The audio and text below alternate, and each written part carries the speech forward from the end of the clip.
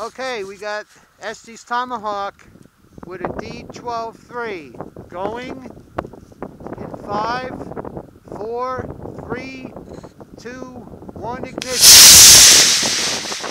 Ooh, that did fail. Woo!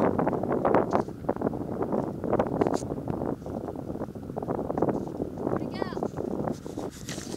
He's up there. There it is! Oh, Where is it?